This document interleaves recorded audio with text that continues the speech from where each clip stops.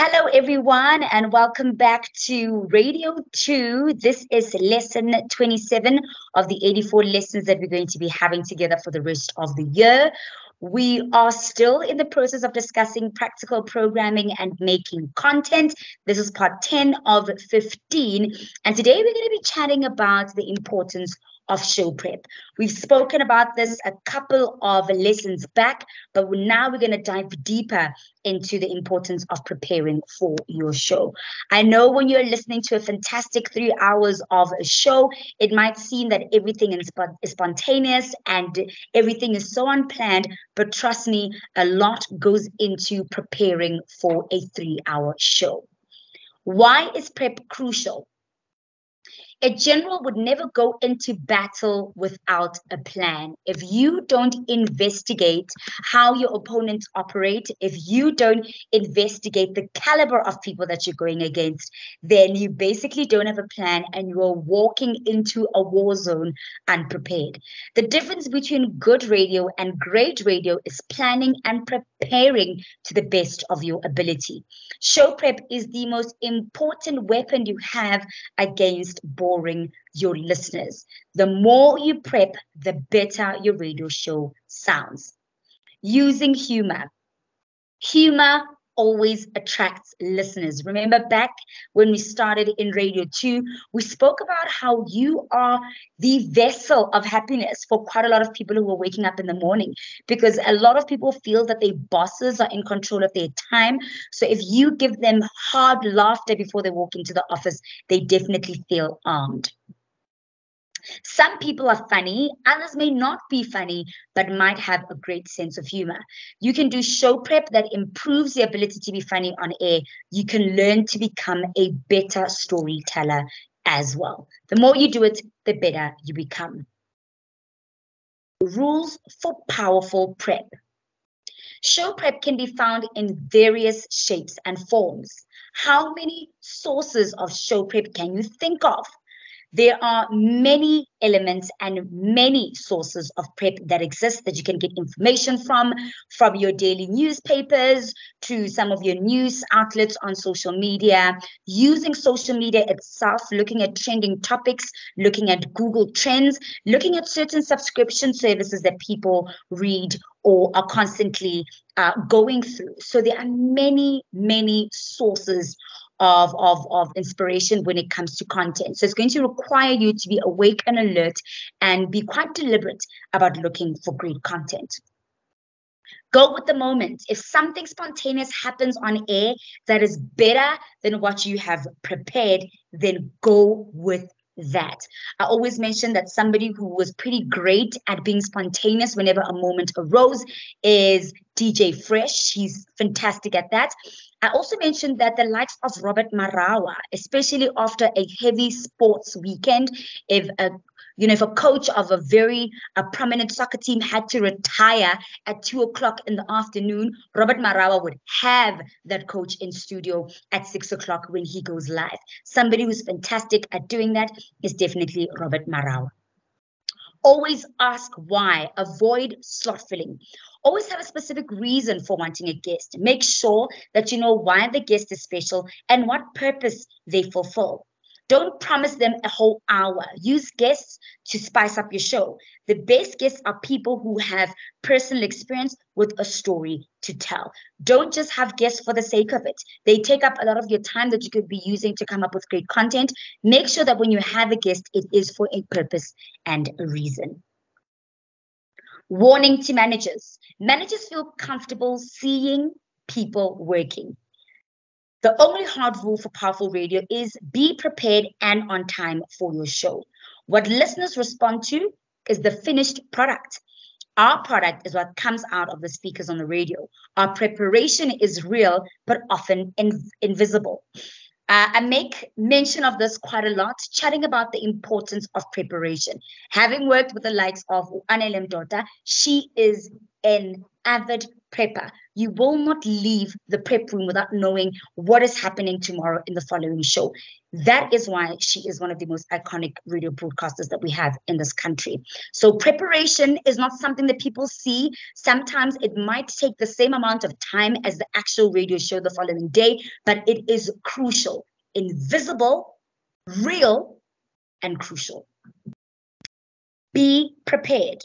Carry a recording device, camera, or notebook at all times. Great ideas come in the shower, the car, um, and even when you know you wake up in the middle of the night you need to write them down. Um, i remember a good friend of mine also a brilliant broadcaster as well he's saying to me you constantly need to be jotting down uh, some of the ideas that you have because you tend to forget them. Something might spark your brain when you're out with friends when you're sleeping or when you're taking a shower. Always make sure that you jot it down. So what i have done on my phone is i am alone in a WhatsApp group. I added my partner and then removed him again. And every time I think of something, every time something creative happens or I read an interesting story, I'll literally either take a screen grab of it, of it or even type it out in my content WhatsApp group by myself so that whenever I get home and, I, and I'm prepping for the show the following day, I actually have some content base to work from. So always make sure you carry a notebook or you send yourself voice notes um, on WhatsApp, or you carry a camera, you know, where something interesting could be happening in order to ensure that you utilize all the content that you come across and that you don't forget it.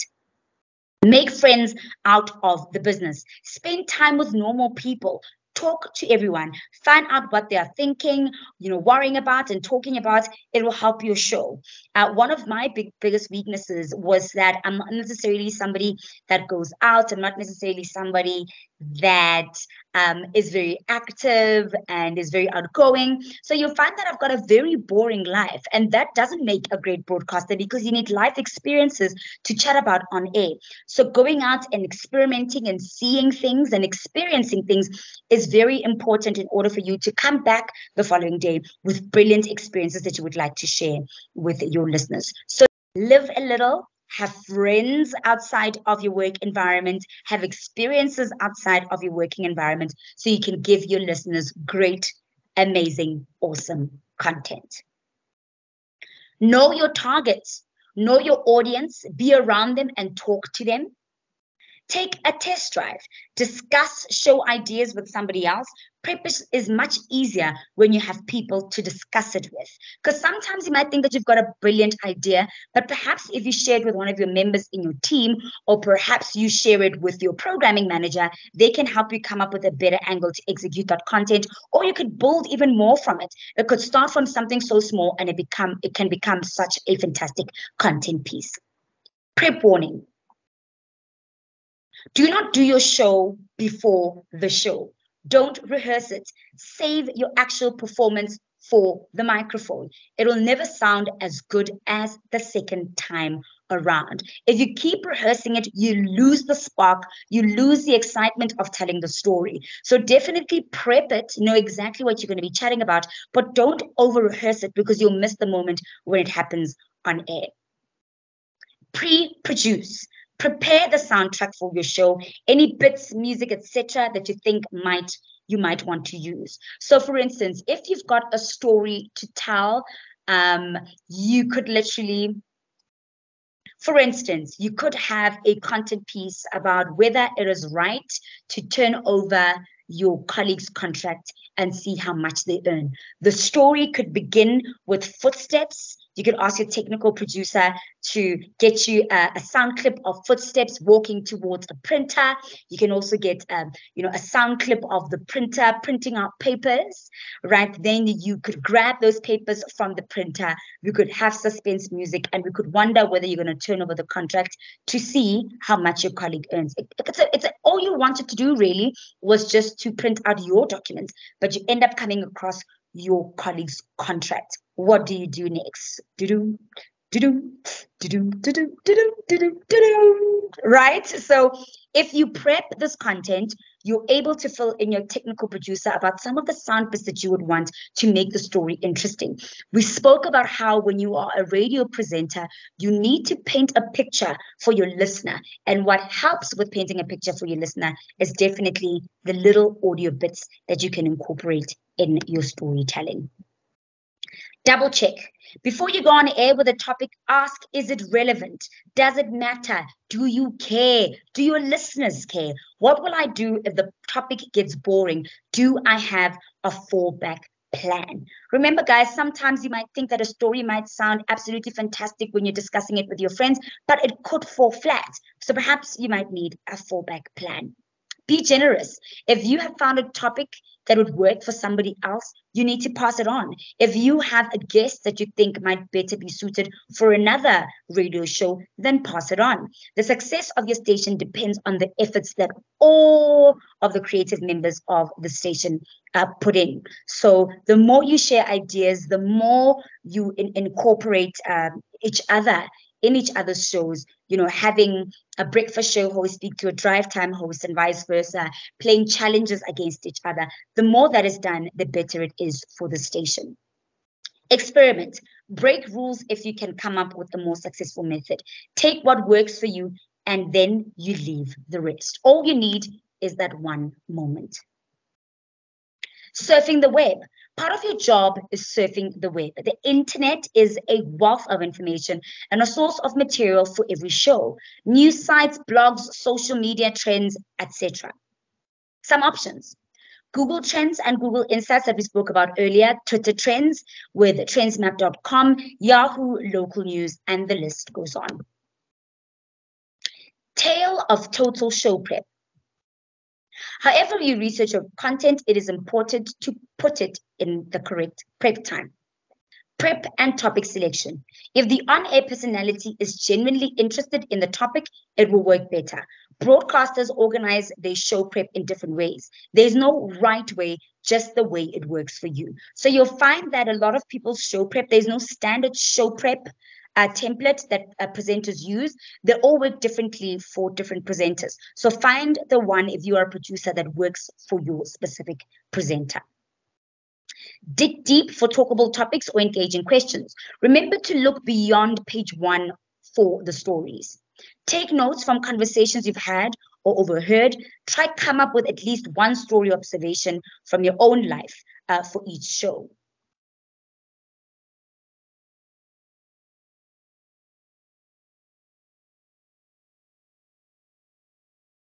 Let's look at some prep methods. Show prep is usually a team effort and not a task assigned to just one person. In as much as the content producer is the one responsible for making sure that the content is prepped and comes up with the content, it is definitely a team effort to ensure that that content makes sense and is relatable to the presenter and the rest of your audience. Review. Show prep begins with a review, air check, or snoop of the previous program. It will never happen before your actual show. Once a week is good. Update. The producer updates the team on new material that has arrived, either from publications, radio services, the internet, press releases, etc. It is also good to look at upcoming major news, sports, and show business events. Sources. Some teams hire writers who will generate exclusive material for these shows. Topics. Decide on a list of topics for the day's program and assign priority. Gather information about items that have caught your attention. Production. Pre recorded material may include interviews with guests not available to do it live, or the street interviews, musical experts, sound effects, novelty voices, feature intros and outros, and highlights from previous programs. Schedule. Schedule the program elements on paper. Make sure everyone is involved and make sure they get a copy. Each program should be planned in quarter hour segments. Archives. An essential part of show prep is the maintenance of complete and accurate files. Include the following a file of previous daily program schedules, copies of scripts and program ideas, uh, background material by subject, as well as audio files. Be selective. It is great to have 10 fabulous ideas for a show, but you might need only four. Think about your listeners and what they would find the most interesting. Three subject areas listeners always respond to are stories about health, heart, and pocketbook. Howard Price uses the following criteria for topic selection what's in it for me, the listener. Every day, ask questions. Have the vision and vigilance to spot trends, take risks, and exploit opportunities. Will people expect us to cover this? People care about things that are close to them physically, emotionally, spiritually, and intellectually. Use radio's immediacy. Use the news. Have a friend who has a friend. Get a life. People want more than just hardcore facts. The real challenge of creating powerful radio is making it work on those days when nothing is happening. Use your own life experiences here. We, as South Africa, have had quite a vast array of stories that we can select from for the past couple of weeks. Uh, I mean, we always have load shedding as a topic. We've had the Minister of Electricity as a topic. We've had Thabo Bester and Dr. Nandipha in our news. We've had Prime Energy Drink as something that's trending in the country, and the list goes on. We are privileged as a country to always have news and things to talk about, but there will come a week or two when there isn't really much to chat about. And this is where you, as a presenter, need to tap into your own life experiences. Look inward. Try using stories you have heard from family members or friends. Big ears and eyes. Sometimes you may overhear usable material. Bring an idea to work. Create powerful brainstorming sessions, especially with your team. During the brainstorm, there must be no judgment of ideas. No evaluation or criticism is allowed. Freewheeling is allowed and encouraged. The wilder and more outrageous the idea, the better. Look for quantity rather than quality. Try to end up with a long list of ideas in brainstorming. Quantity produces quality. Combine ideas. Make use of each idea better. In this case, only positive building is allowed. Every idea must be written down. If you choose to not write something down, you will have judged it, which violates the first rule. Every person taking part in the brainstorm is equal in rank. There are no bosses, no leaders, no hierarchy.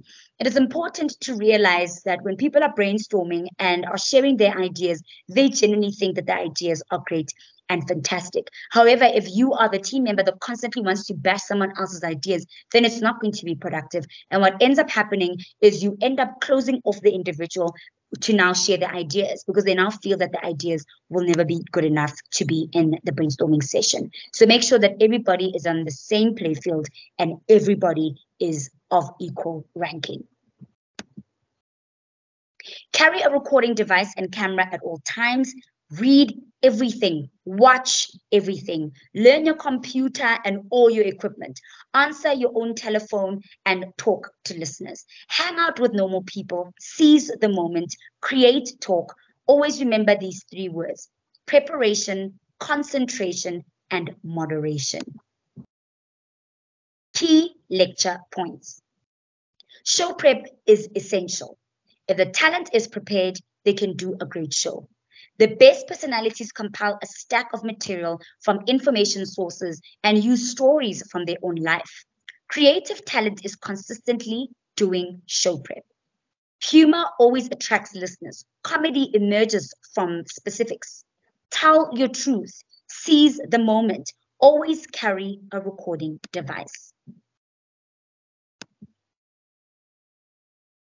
That wraps up our lesson for today. So, what I'm going to need you to do for our next lesson is to send information about different subjects that you come across that you believe would be interesting to hear about on radio. And we will discuss these in detail and see how we can turn them around for fantastic teasers and performances on a radio show. If you have any questions, feel free to email me on nonhlanhla at boston.co.za or you can contact me in our WhatsApp group, Radio 2. I'm always available there. Otherwise, see you on the other side.